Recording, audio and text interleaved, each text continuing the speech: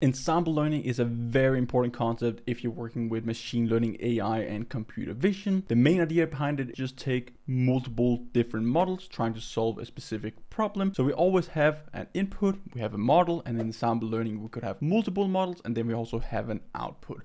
So the problem here, when we have multiple models, you can stack them sequentially, you can stack them in parallel, is how do we merge the output. So there's different strategies for that. We can have another model learning how to actually take the inputs from the outputs of the other model and give the final output.